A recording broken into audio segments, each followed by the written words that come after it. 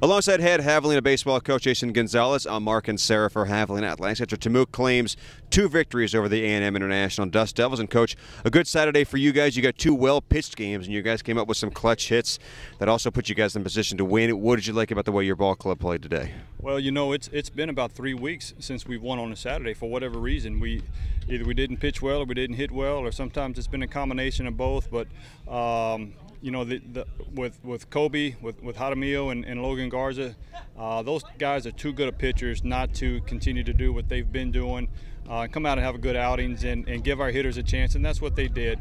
Uh, you know, Kobe started it off for us, gave us a, a, a great start. Logan uh, did what he normally does, and you know, our hitters they, they had to battle back a couple of times from from uh, some some deficits. So I was glad of the way they competed. And that's what one of the things we haven't seen uh, our best in terms of the last three weeks on Saturdays is, is a competition. And, and, they got right in the middle of the confrontation and, and uh, they didn't let up. And uh, I couldn't be more proud of because again, it's hard to it's hard to win a doubleheader. You mentioned these Saturdays have been driving you guys a little bit nuts. Do you have to, when you're in that situation, you have to guard against it becoming a, a mental problem?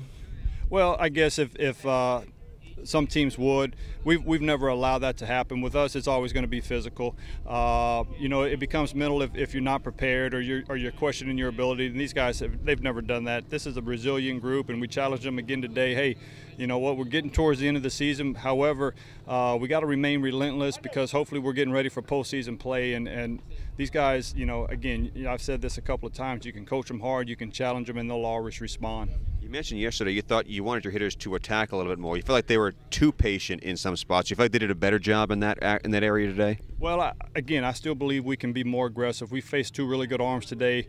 Uh, maybe the win-loss records aren't aren't what you know what they would like, but that, those guys have really good stuff and they're really good arms. And so we had to be we had to be patient at times, and we had to you know try to figure out some stuff. And you can only do that if your pitchers are, are doing what they're supposed to be doing. So again, all the way around, I, I was very pleased with them.